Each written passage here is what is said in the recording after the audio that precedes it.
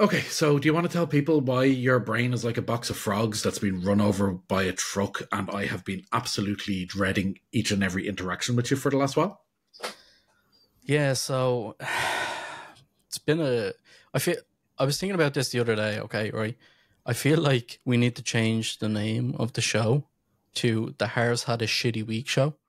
because literally every single episode starts with so how's your week been? And then it's like me going on a rant tirade of all the shit things that are going on.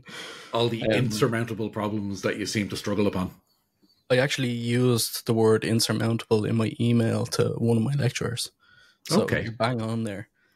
So yeah um we talked last week i think about college and how things are just kicking off. Everything's so super crazy and yeah uh, it's it's just like a, a huge tsunami of work all coming, you know, to coming to a head at the exact same time at the end of the semester. So last week I was coming up to the the very final week of semester two before the exams were due, and there was I think I mentioned last week loads loads of deliverables that needed to be done. Um, and unfortunately, on the Monday of the last week, I had to go to my doctor's. Um, we had moved from direct care from my psychiatrist to shared care, which is a, a thing in Ireland where they do half care with your GP and half care with your uh, psychiatrist. So essentially, you only have to go to your psychiatrist like once a year or once every six months instead of you know much more regularly. Um, yeah, for me, it's once every six months. Yeah, yeah, exactly. So we had agreed on my last meeting with my psychiatrist that we would do that got an email or text from the uh, the GP to say, look, you need to come in for a, a checkup, blah blah blah. So we organised a BP twenty four hour BP monitor, which I'd never had. I didn't find it, you know, too annoying. Everybody was saying it's going to be a pain in the ass. You know, you're not going to like it. It goes off every half an hour and wakes you up all through the night. But I found it okay. Yeah, it for anyone who doesn't know, it's basically a box that's attached to you with a blood pressure cuff attached to your arm and yeah, it it gives regular blood pressure readings. It's a Holter monitor. It's called. Yeah, so it's it's basically goes off every half hour, and then when you're, I think eleven o'clock, I switched over to every hour. Um, but yeah, it wasn't too bad, except for when I was writing my reports and stuff or trying to code. And then every half an hour, you're like, "Oh shit, that's another half an hour gone." it's almost like a you know a countdown clock. Beep, beep, uh, was, yeah, it's like, oh no, that's another half an hour gone out of the time I have left to get these things finished. So it's almost like someone's you know standing behind you with a whip. Get get it get it done. You're you're losing time. But yeah, that happened on Monday. So I was really productive on Monday, even with the cuff, uh, and got a really good bit of work done on one of the major project deliverables. Then Tuesday comes around, up to the doctor in the morning uh, to see how things are going, and got the you know just absolutely heart wrenching uh, news that my BP was too high to continue on my meds and that I essentially had to come off them immediately. Now, I hadn't taken them yet on Tuesday morning because I take them kind of more towards the late morning. Um, so I didn't even have any in me at that stage. But yeah, he's he's essentially saying there's too high a risk of cardiac problems if you don't come off your meds immediately and don't take them. Um, and then four weeks time, come back. We'll do another BP monitor for 24 hours and see how it is and go from there. Um, okay. And I was uh, legit near, near, tears when he said that. Like you know, you can't yeah. just clear me away because the stress, the stress and pressure of trying to get everything done is enough on its own, without now basically being told you don't have the one thing that actually helps you to get all these things done anymore and you just have to do it on your own which you've struggled with your whole life and actually have kind of an A B test of a master's you've tried to do before and failed at because of the ADHD and because of the struggles of being able to focus for assignments and stuff like that. So it was a very rough, rough, rough Tuesday. Um, had a lot of support from friends and you and uh, family and stuff like that. But yeah, it was very very awful time on Tuesday. So I'm I'm basically yeah, like you said, my brain is all over the place. I can't keep a thought. I can't keep even like conversations alive or memory alive. Um, like we were talking about just before we popped on, there was a few things you were literally telling me as as we turned on this call, and two seconds later, I had completely, you know, forgotten about it. Yeah, so, yeah, that that conversation we'll come back to. But first of all, let's kind of dig into what you were talking about there. So first of all, your blood pressure was too high. Now you're on Ritalin, which is, uh, or as it's chemically known as methylphenidate, um, which is known for uh, raising blood pressure. So yeah. this is a common technique. If you're on Ritalin and if they check your blood pressure and they see that it is raised, the first thing they'll do is eliminate that potential causer and reassess. So first of all, did they say what your reading was? What your what the the spikes were that were concerning? Yeah. Let me now, try. I'm asking you to remember that. I know, yeah, but I do, I do have it in there somewhere because he gave me the sheet and I looked at it before I went into the. So I went into the nurse to yeah. get the thing kind of scanned off and the data, and she gave me the sheet with all the info, and then I went into the doctor afterwards. So I think it was like 140 or 150 something okay. over i want to say 90 something yeah and then it dropped by like 20 points uh, overnight um so, so I went to 120 over 80 that kind of thing overnight some yeah like 114 or 120 over uh 76 or something like that yeah so that sounds like the 140 over 90 that would be considered hypertensive, which means high blood pressure. Hashtag not medical advice. Not medical advice. And um, this is just general information. It's not yeah. medical advice and it's not intended to be any kind of diagnosis or anything like that. But yeah, that would that would typically signal or imply high blood pressure. Now, that by itself isn't a, generally speaking, a concern. Uh, what the fact that it comes down when you're asleep and it goes up and down like that, that's normal. So, what they'd want to see is next time you have the Holter monitor on, they will probably want to check to see if it has stabilized. If it has stabilized, they will probably look at alternatives in terms of medication or alternative therapies that will work.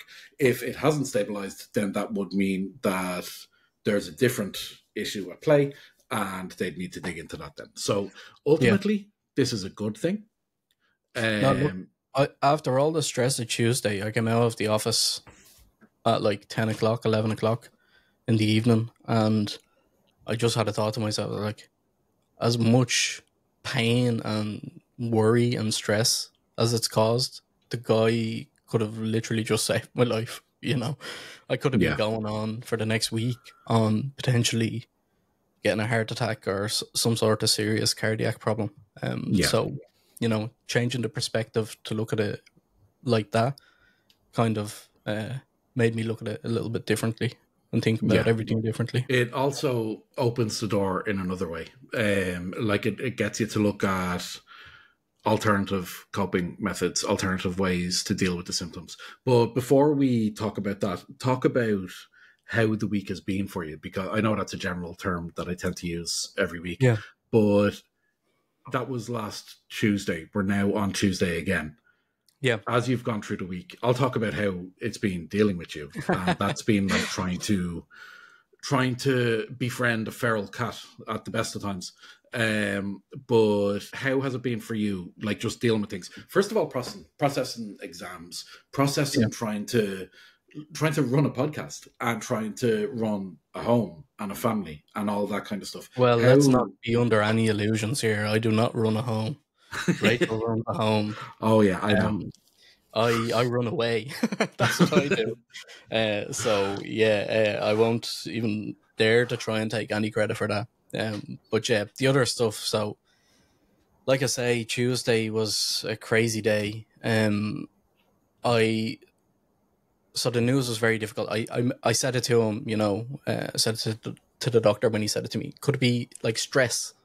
You know, because we've had a very stressful time. Could that be the cause of you know an elevated BP? Because I've been on the medication for over a year now, different medications, all stimulants.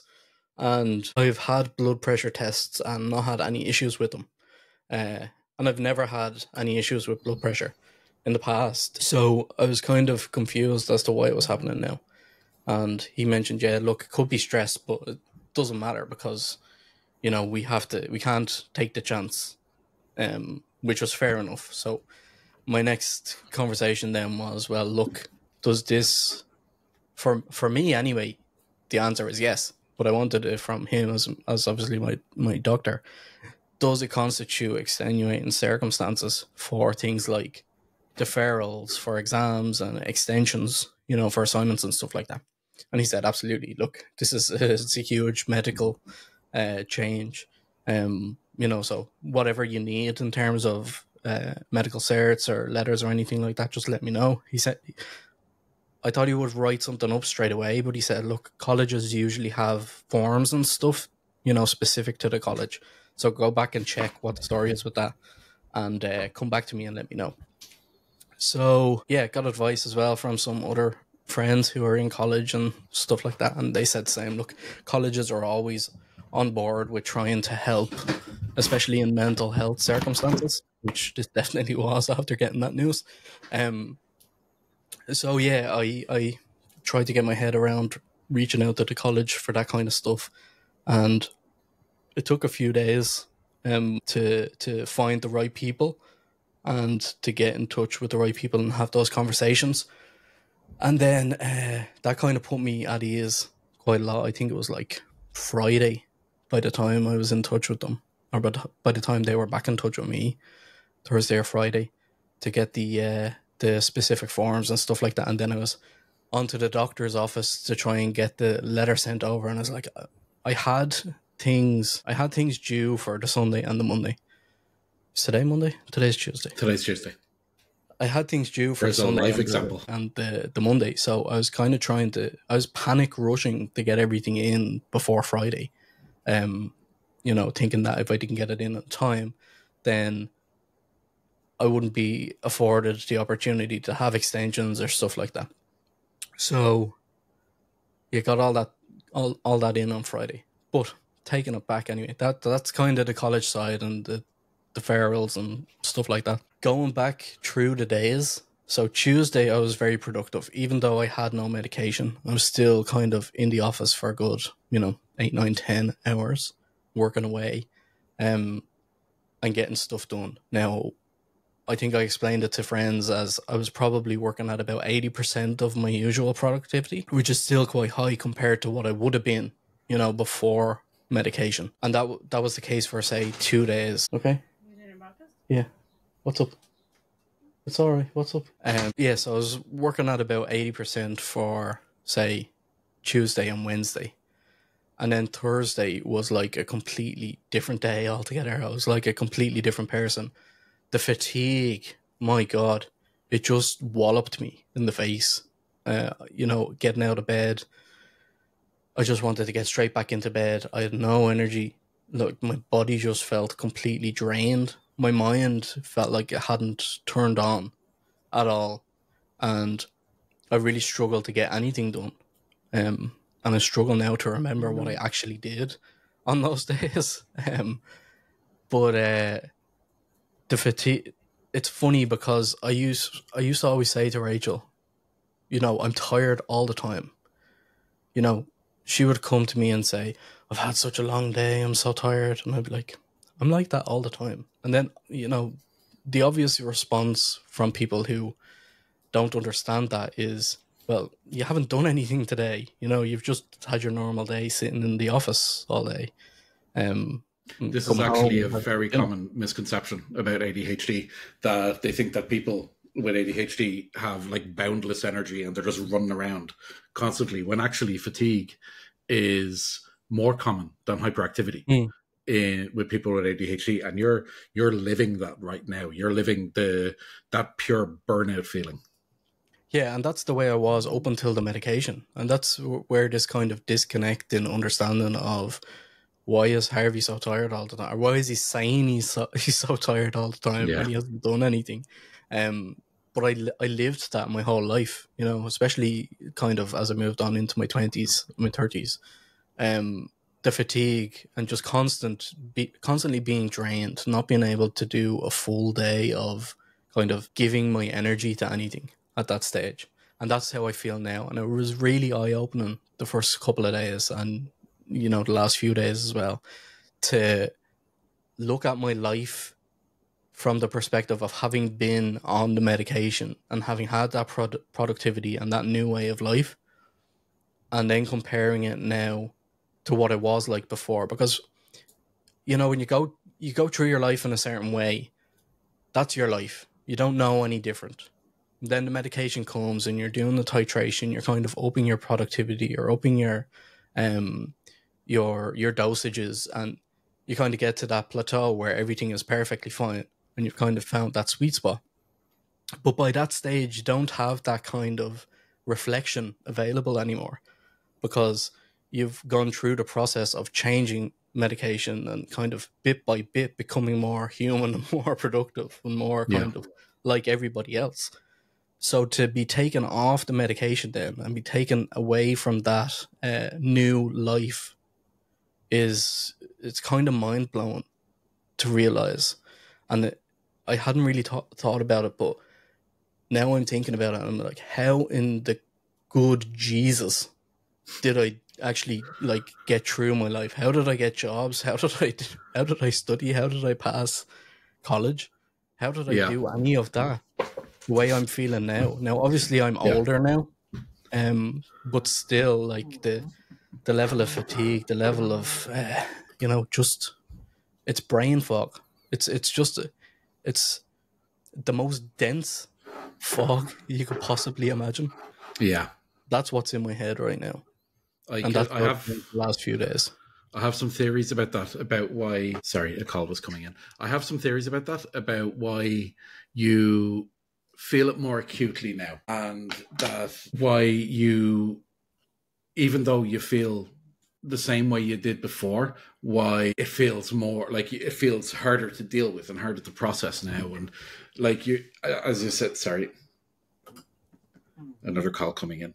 Um why it's harder to process now and why it's like how did i cope with this before? How did i have jobs? How did i like maintain friendships? How did i do all that well, and friendship thing is another story My maintaining friendships has never been a strong suit for me well, yeah, that it's kind of a turn of a phrase, and for me, it's uh, I was just persistent in being your friendship, and I think that's why I was able to break through that that crusty exterior. But I have theories about that, and I'll come to it in a minute because I want to talk to you about like your plans for the next few weeks. But before that, I want to talk about what it's been like for me yeah dealing with you as someone who is currently medicated and who, someone who was currently the same as you with a lot of the similar symptoms that you're talking about with that kind of lack of focus lack of direction yeah. lack of energy or memory and, and Rachel just popped in there a few minutes ago. Maybe we should have kept her around to see what she feels as well. Yeah, how it's gone for her. That would be a yeah a little surprise guest of uh, let's berate her for a while. But yeah, for me, dealing with you since Tuesday. So first of all, on Tuesday itself, that was it was like empathetically speaking, it was a blow to the gut. It hmm. was mm. like I knew what it would mean for me, so it would it, it, would have crushed me in the same way as it very clearly crushed you. But since then, like first of all, I tried to give you space because I knew focus was going to be an issue, and if I pulled your focus, because at that point you weren't you hadn't made made any decisions about college or about the assessments so i was like i can't really like bother you while you're working on assessments because as we were both aware at that point you had two massive assignments that were due at the end of that week then when like natural kind of planning conversations came up about the podcast and episodes we were going to do and different things we were going to uh, going to be working on and first of all trying to get you to, to pin you down to a conversation was like trying to pin mist to a wall. And it was you were flitting around like like a beautiful, delicate little butterfly that I couldn't. I need, I need an example because as we've spoke about I have no memory of any of this happening. so uh, yeah, have you got any like examples to, to of what you were like? Uh, yeah, well, I probably do. They're probably not super appropriate for for this because there are many many expletives where I was like, Harv, what the fuck are you doing? Etc. Um, or Jesus Christ, Harv, for fuck's sake, will you listen to what I'm saying? Things like that. If you just scroll back through our chat on WhatsApp, I'm sure you'll see many, many, many examples of things that you haven't replied to. Just FYI. Even today, there's been uh, two two specific examples.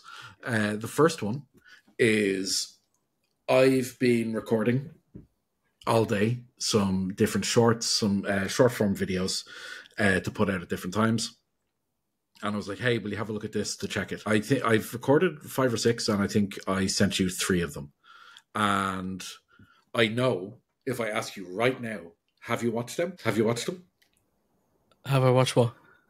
Oh, for fuck's sake! No, no, I have not watched them. I have, but you see, and I'm like that as well. Just generally, though, you know, because yeah, I, no, I know, yeah. When I do get content like that, I want to have time to actually sit down and properly look at it, which is yeah. difficult when there's a, a two and a half year old screaming in your ear um, that she yeah. wants to play with her new sandpit. Um, but yeah, no, I will look at them. Uh, no, I, I know you will, but like that's just the example there of in four weeks uh, when I get my Ritalin back. Exactly.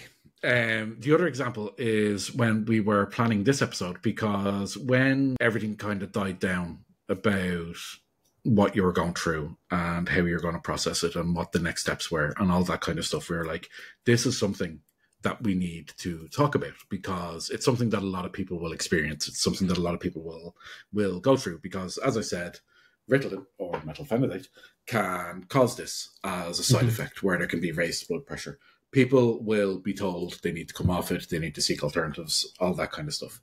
So we decided let's actually when when I was able to actually get you to sit down and read a message, we decided that we were going to try and put this out there, try and talk about what you were going through and share that. Um, so while we were planning this, Harv said, "Do you know what? Let's actually do this properly. Let because we when we approach these, we try and." not over plan. We try and like make like just have it conversational. Like the, a lot of the times when we're talking, we haven't prepared anything. We're we're sharing stories pretty live. Um, for this one, it's a little different because Harv's been going through something really, really tough. So we've been uh, kind of talking back and forth about this one all week. When again, I could get him to sit down and actually read a message. So we'd.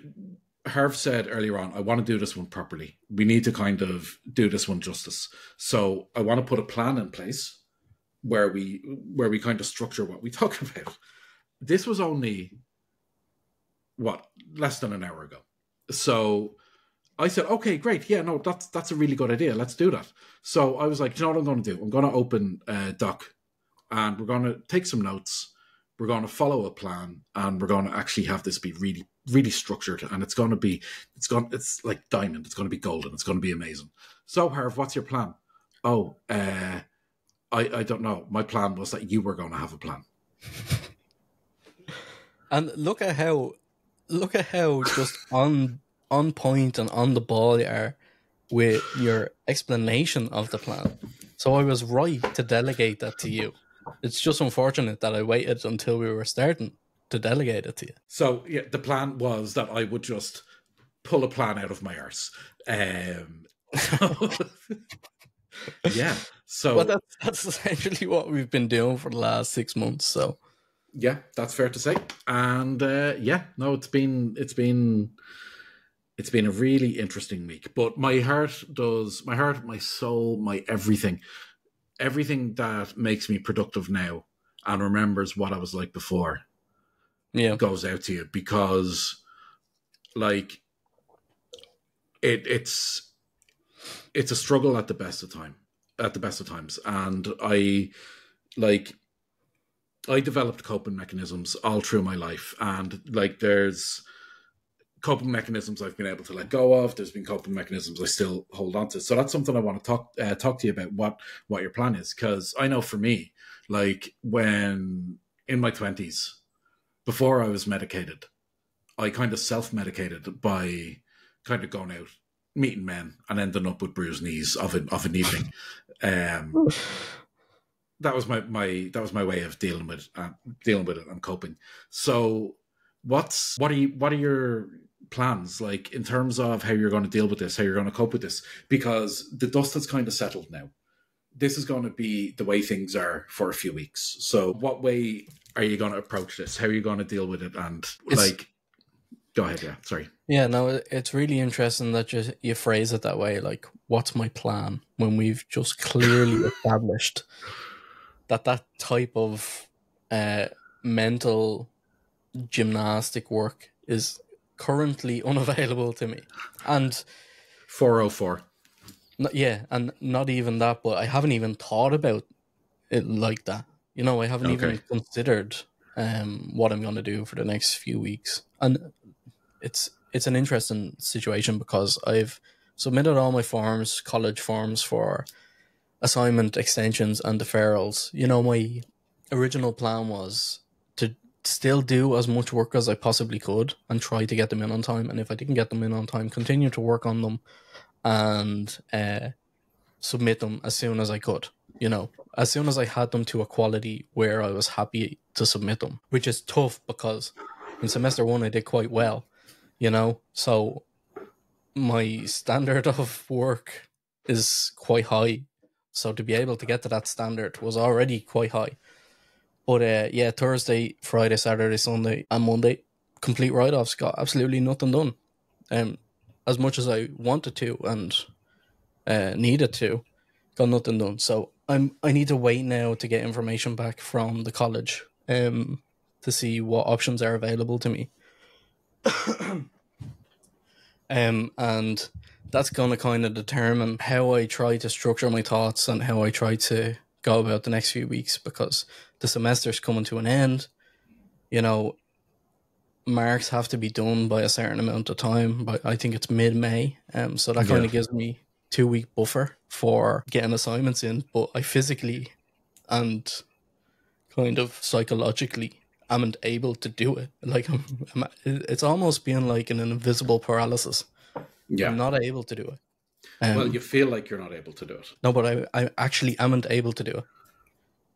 Um, and I can say that having come from a Tuesday where I was in the office for eight, ten hours doing stuff, yeah.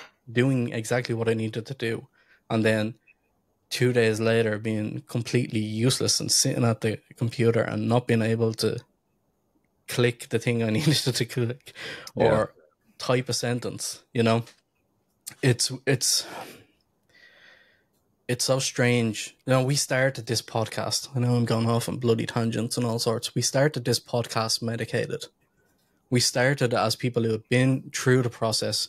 We'd been through learning about ourselves and we got to the other side in terms of we'd overcome a lot of the problems. Obviously we still had problems and we still talk about those things but we've uh, we had overcome an awful lot of the issues that brought us to looking for diagnosis. And now the perspective is completely different.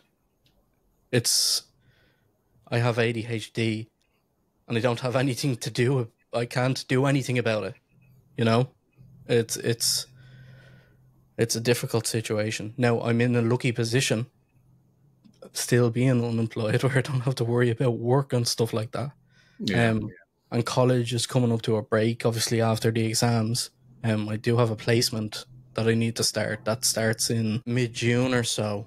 Um, so I have a few weeks of play. You know, it's it's not a outside of the assignments and the exams. Things aren't, you know, crazy busy in terms of need and the medication. It's really just the college stuff that was that was keeping me, um, or that I needed uh, the medication for.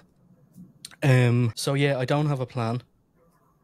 Um, which probably makes an awful lot of sense. But also, I probably don't really need a plan because there's two scenarios. There's a scenario where they grant me deferrals for the exams and I do them in August. That's all fine. Don't need to worry about it. And they grant me some sort of, you know, exception for the two remaining assignments. and then I don't have to worry about it. The other situation is I, I still get the deferrals. I don't think of any issue with the deferrals. Like I've got obviously the doctors know and stuff like that, but it's the assignments because they need to be marked by a certain time. Yeah. There's no remarking uh, available. So essentially, I get the extension up until when they need to be marked, and I do my best, whatever I can do, which is probably going to be, you know, other crap and submit that and get a grade that's way below what I would have wanted, what I should have got, and live with it like that. But yeah, I think I took a perspective shift. You know, it was the end all and be all. I need to spend all day, every day in the office, get the assignments done, get the studying for the exams done, and then, you know, and talking to friends and you and family and um, even the people in the college, you know, it kind of put me at ease and I changed my perspective. And right now it's like if I if I don't get what I need or what I wanted to get, then that's okay, and that's not the end of the world, and it's just something I'll have to live with. That's a very healthy way to look at it. And as we move through the weeks, we will. Uh, I think we'll be talking about how you're coping with things, what what methods you're using to uh, kind of keep yourself grounded, and how you're wrecking my head, quite yeah. frankly. it's funny, right? This is the other funny thing. So, as all of this was happening, it was Friday. So I got the news on Tuesday, and it was Friday before it registered in my brain that I should be sharing this information with the people who are following us. Yeah. You know, I was so kind of, I almost imploded into myself and into my situation that I completely disregarded what we've been building and what we've been working on for the last six months. And it just kind of sprung on me. as like, this is exactly the kind of, you know, first-hand experience, information, straight from the horse's mouth kind of stuff that people are uh, coming to our channel and coming to our TikTok and our whatever else we have. They're coming for this kind of information and this kind of, you know, real life lived experience and I was like, oh, I have to, I have to put out a video. And then I wanted to do it more and more, but I just couldn't do it, you know. And I wanted to do one this morning, and I couldn't do that. And I'll try, I'll try to do more. Um, I need to kind of just be, you know, kind of off the cuff type things. If I want to do, it, I need to just hit play and speak whatever comes into my mind, and uh, that's that's that's the plan yeah. I have now for the next few weeks. I think. I can assure you that what you're going through, what you're, as you said, when you hit record and when you when you do feel like you're in a position to get that stuff out, that what you're going through and what you're experiencing and the way you express that, there will be people who will that will resonate with. And it, it like the, even the way you're talking and even the way you're kind of expressing how, how it feels it reminds me of how it felt for both of us back at the, the start when hmm. we were looking for this when we were separately without even knowing that we were going through this. And it all feels so insurmountable. And this is, this is something we're going to talk about more and it's it's something that we're going to look back on, and it'll be, I'm sure it'll be a great thing uh, for you eventually. But right now, let's just see what we can to help you get through it. And that's actually something I'm going to lean on our listeners for because I currently use main my main method of of dealing with things is the medication you're kind of in a position now where you're in a bit of a limbo situation. So yeah. if anyone has any advice, if anyone has any techniques, a lot of people choose a non-medicated route. So what what do those people do? What techniques do they use? How do they get through the days? How do they eliminate that brain fog? How do they kind of make sure they stay on track? That as you said about the like the exams, how do they make sure they get through something like that? Job interviews, day to day, how do they keep themselves on on track. So if anyone like, has any tips, absolutely let us know. Yeah, hundred percent. And it's funny mm-hmm. as as I'm listening to you saying those things, like we did those things we don't know what they are now because you know it's it's a yeah. past life. But we did those things to get through job interviews and exams and big projects and stuff like that. So there are things and there there are ways to trick the ADHD mind into working the way you want it to. Um, so I'm sure there's plenty of people out there, yeah, who who are still in that position to be using those.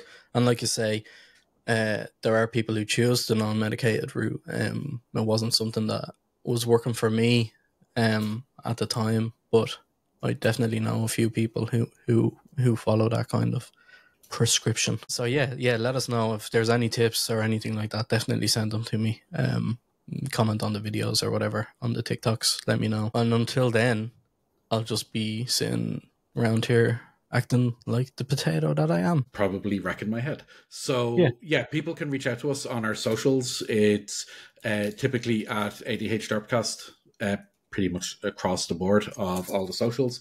Uh, feel free to like, comment, subscribe, give us as much feedback as you can.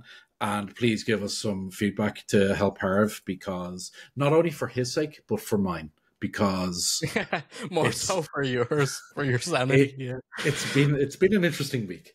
Um, but thank you for everything so far. Thanks everyone for listening so far. Please feel free to give us any feedback and remember to join the chaos and we're all in this together.